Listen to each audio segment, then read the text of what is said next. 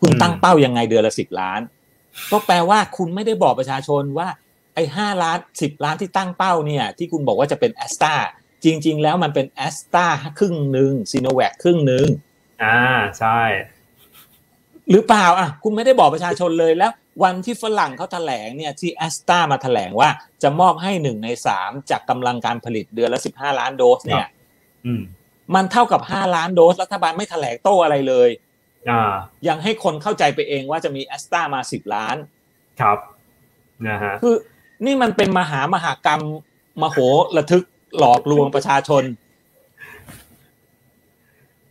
ใช่ไม่มีความโปร่งใสเลยอะไม่คือมันหาความโปร่งใสได้ยังไงพี่ชูในเมื่อเราไม่เห็นตัวสัญญาที่มันชัดเจนที่หลายฝ่ายพยายามเรียกร้อง คือถ้ามันมีตัวสัญญาเรายังสามารถมีอะไรที่จะไปอ้างอิงไปถามแล้วเป็คุนณหลักวีระฐานันนท์คิดว่าทำไมเขาไม่เปิดสัญญา ก็เพราะแบบนี้ไงก็ใช่ไงถูกไหมเพราะแบบนี้ไงมัก็เลยเป็นคำตอบเขาถึงไม่เปิดสัญญา ก็เพราะแบบนี้ไงมันเลยไม่เปิดสัญญา แล้วก็หลอกลวงประชาชนไปวันๆว่าจะมีแอสตาอ่าเดือนละสิบล้าน อ่าอ่าอ่านะฮะแล้วผมก็ยังต้องถูกหลอกอะว่าปลายเดือนเนี้ยผมจะได้ฉีดแอสตาในโครงการไทยร่วมใจอะอ๋อผมก็ยังรออยู่อะอ๋อแล้วจะมาเปล่าอะ ไม่รู้ค่ามันลดลงไปครึ่งหนึ่งแบบเนี้ยใช่ใช่ นอกเหนือจะไม่จากตัวสัญญาที่มันยังไม่ชัดเจนแล้วนะฮะ อย่างวันนี้เองเนี่ยในสภามีการประชุมกันเอ่อฝ่ายค้านก็คงจะเตรียมถามเรื่องวัคซีนนี่แหละ แต่ปรากฏว่าทั้งนายกทั้งรัฐมนตรีต่างๆ เนี่ยไม่มาเข้าประชุมเลยนะฮะ กระทู้ถามสดต่างๆ ที่เตรียมไว้จะถามในวันนี้ก็กลับกลายเป็นว่าไม่สามารถถามได้ ทีนี้ถ้าไปถามในสัปดาห์หน้าเนี่ย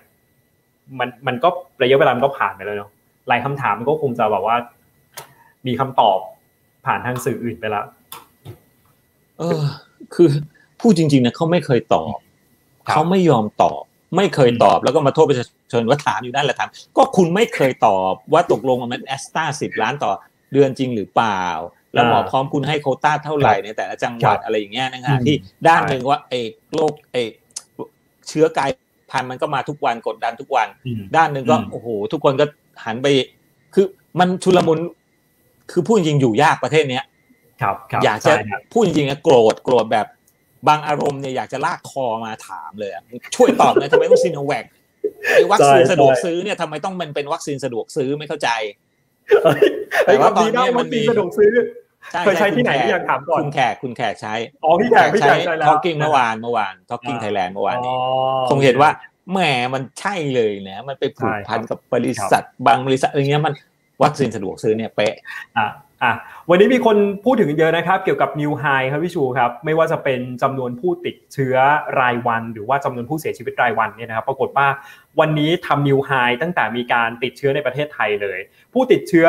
สูงสุดเลยนะฮะในวันนี้อยู่ที่ 5,533 คน แล้วก็จำนวนผู้เสียชีวิตอยู่ที่ 57 คน คือถ้าเทียบกันแล้วเนี่ยจำนวนผู้เสียชีวิตต่อผู้ติดเชื้อในวันนี้เนี่ย10%แล้วนะครับครับโอ้โหแล้วถ้าเกิดเทียบสัดส่วนประชากรนะฮะอ่ ถ้าเราเอาประชากรของเราเนี่ยครับซึ่งน้อยกว่าอินเดีย20เท่านะอืมคูณเข้าไปนะ เท่ากับว่าเราติดเชื้อ1แสนคนต่อวัน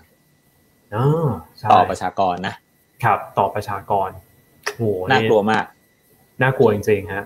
ก็คือเนี่ยดูนะครับตัวเลขแล้วผมหวั่นใจอะ อืมอืมอืม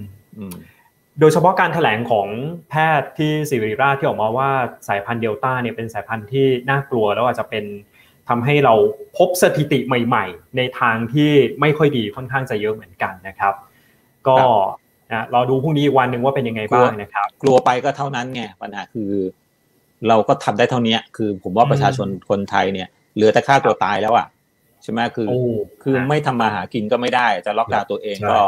ก็ลำบากอะครัอบย่างเอาครับแค่ เอาแค่เราซึ่งในฐานะเป็นคนชั้นกลาง มีเงินอืมออมเนี่ย เราก็เลยรู้ครับเราก็รู้แล้วว่าถ้าไม่ออกไปทำงานก็ไม่ได้อะมันใช่มีใช่ความหวั่นจิตมันมีสารพัดความไม่มั่นคงเลย ซึ่งความไม่มั่นคงแบบนี้เนี่ย กองทัพรัฐบาลไทยไม่เคยเอามาแยแสเลยว่ามันเป็นครับส่วนหนึ่งของความมั่นคงครับสมัยใหม่